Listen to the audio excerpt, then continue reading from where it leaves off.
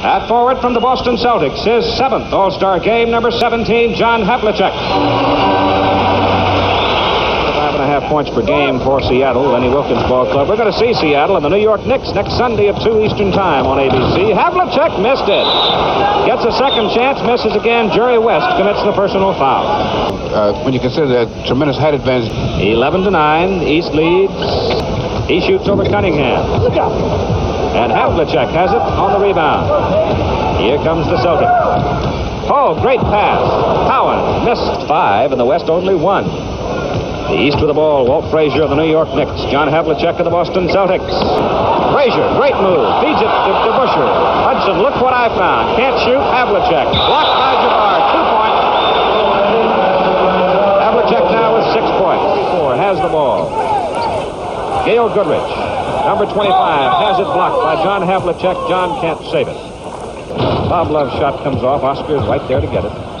Hooks it back inside. John Havlicek with a steal. Save. He's shooting 39% so far, and uh, 30 out of 77.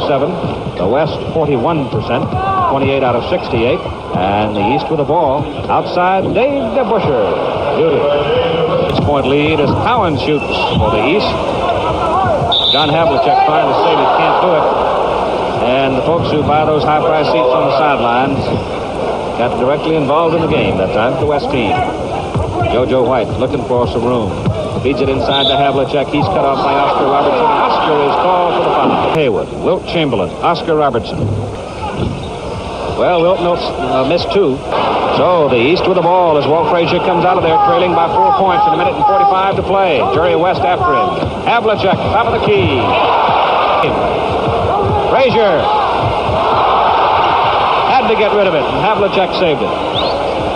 A good defensive play by West, forcing Walt to do that. West almost stole it again, but Havlicek scores. Walt Frazier, John Havlicek, Dave Collins, and Dave DeBusschere.